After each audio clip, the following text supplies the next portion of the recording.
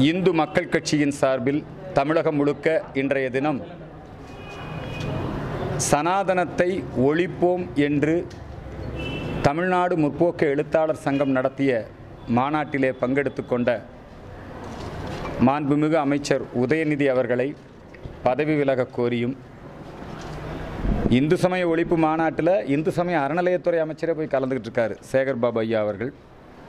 அவர்களும் பதவி விலக வேண்டும் என்பதை வலியுறுத்தியும் இன்னைக்கு நாடு முழுக்க இந்து மக்கள் கட்சியின் சார்பிலே கண்டன ஆர்ப்பாட்டம் மற்றும் கோரிக்கை புகார் மனு சமர்ப்பித்தல். இது ஒரு ஜனநாயகபூர்வமான நிகழ்ச்சி. ஆனால் நேற்றைய தினமிருந்து நாங்கள் ஒட்டிய சுவரொட்டிகளை கிழித்து அதே போல எங்களுடைய நிர்வாகிகளை முன்னெச்சரிக்கை நடவடிக்கையாக கைது செய்து இந்த போராட்டத்தை சீர்குலைப்பதற்கான அனைத்து முயற்சிகளையும் இந்த திராவிட மாடல் அரசு காவல்துறையை ஒரு ஏவல் துறையாக மாற்றி இன்றைக்கு ஒரு மிகப்பெரிய அநீதியை எங்களுக்கு இழைத்திருக்கிறது. அம்பத்தூர் ஓட்டி பகுதியிலே நடைபெற்ற இந்த போராட்டத்திலே நான் பங்கெடுத்து கொண்டேன். தடை விதிக்கப்பட்டு எங்களை கைது செய்து இப்பொழுது மண்டபத்திலே வைத்திருக்கிறார்கள். இதே போல எல்லா மாவட்டங்களிலும் எங்களுடைய நிர்வாகிகள் கைது செய்யப்பட்டிருக்கிறார்கள். சனாதன ஒழிப்பு மாநாடுன்னு விடுதலை சிறுத்தை நடத்தினாங்க. அவங்களுக்கு அனுமதி பாதுகாப்பு எல்லாம் கொடுத்தது இந்த அரசாங்கம்.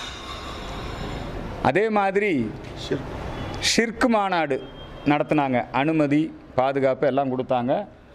முடவர் நடக்கிறார் குருடர் பார்க்கிறார் செவிடர் கேட்கிறார்னு எழுப்புதல் ஜபக்கூட்டங்கள்லாம் நடத்துகிறாங்க அதுக்கு அனுமதி பாதுகாப்பெல்லாம் கொடுக்குறாங்க.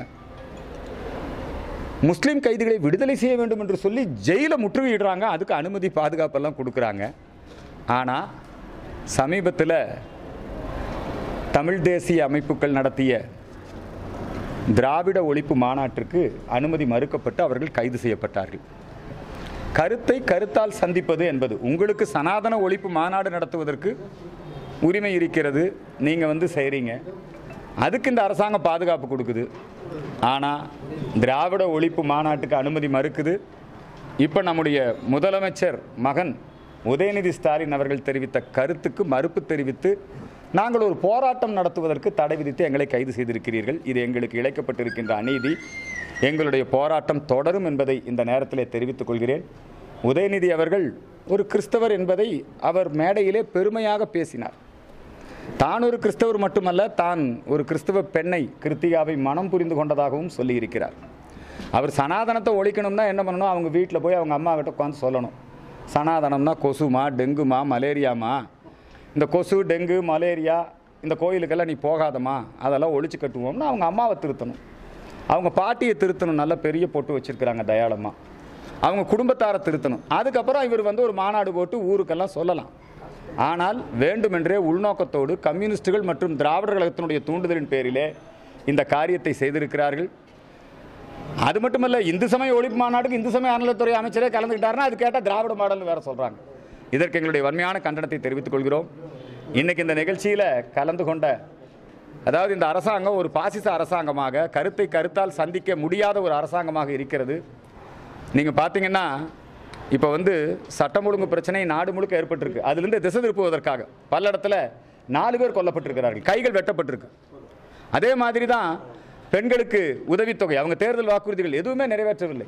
அதிலெல்லாம் கவனம் குடிக்காமல் இப்படி எங்களை திசை திருப்பி விட்டுக்கிட்டு இவங்க வந்து இப்படி நடவடிக்கை எடுத்துக்கிட்டு இருக்கிறாங்க.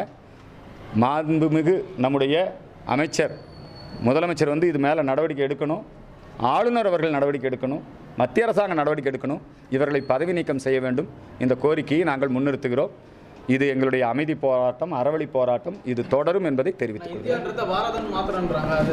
அதெல்லாம் பாரதியாரே பாடிட்டார். பாரத தேசம் என்று பெயர் சொல்லுவார். மிடி பயங்கொள்ளுவார் பரதவர்சே பரத கண்டே பாரத பூமி பழம்பெரும் பூமி. India that is Bharat. அரசியல் சாசனத்தில் இருக்குது.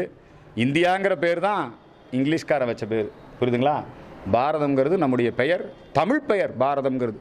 அதனால் அந்த நிக அதில் வந்து பின்வாங்கக்கூடாது அதனால் இந்த அரசாங்கம் பாரத்னு பெயர் வைத்ததை நாங்கள் வரவேற்கிறோம் அதுக்கு வந்து எங்களுடைய வரவேற்பை தெரிவித்துக் கொள்கிறோம் நன்றி நன்றி நன்றி